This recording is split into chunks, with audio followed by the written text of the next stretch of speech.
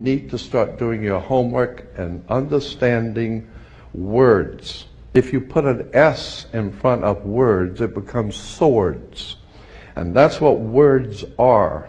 They are cutting. They can cause you great trouble. Humans are word control creatures. So we need to establish what words mean.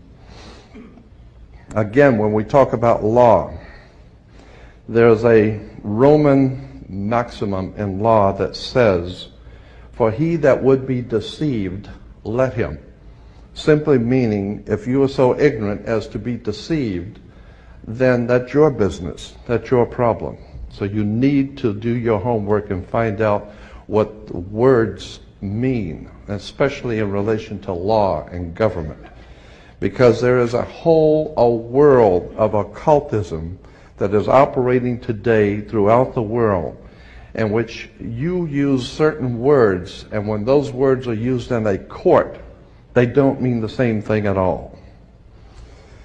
Understanding law and the words of law, there are two things that this planet has water and earth, water and land.